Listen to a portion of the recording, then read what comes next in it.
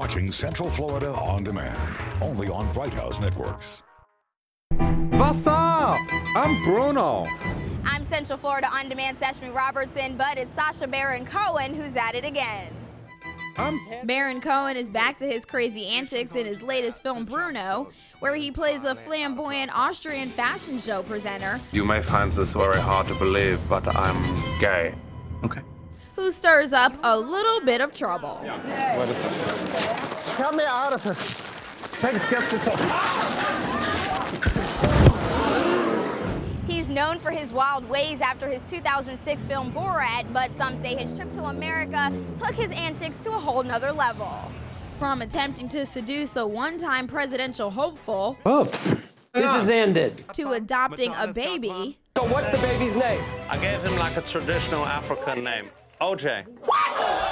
his alter ego in Bruno is so crazy it's been said people have left the theater before the film is over. So this week we're asking what do you think of Bruno? Does he take it over the edge or is it all in good fun? I felt dirty after I walked out of the movie theater. I couldn't look at anybody in the eye when I walked out that was also in the movie theater. I think that it's good because people should push envelopes and people shouldn't take themselves so seriously. Honestly, my girlfriend and I we went and saw it Saturday night. 15 minutes into it, we walked out. Was, I couldn't. I didn't even know movie theaters gave refunds, but we got our money back. The, uh, I honestly, I don't get, I don't feel uncomfortable at any time, and I felt uncomfortable in this friggin' movie watching this thing. It was ridiculous. The, the, the one scene you're all gonna hear about, yeah, I didn't like that. I didn't like the, uh, the him being all gay and the you know, Ron Paul thing, and uh, I don't know. I just didn't like the movie at all. I mean, I, I think it's gonna last one week in the theaters. Period, hands down. I got nothing else to say. It's, it's just a horrible movie. It sucks. I loved it. It was great, hilarious, funny. I just liked the whole thing and his personality, and it just gave me something to look at. I was somewhere in the middle. I really liked the Ali G characters uh, from the HBO uh, program, but this specific movie was a little bit over the top in terms of being graphic.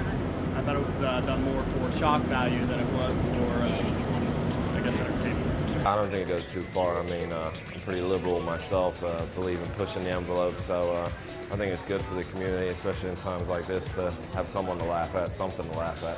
Well, I feel that um, a female has always been exposed, and I feel that a male should be exposed and equality for all, naked or unnaked.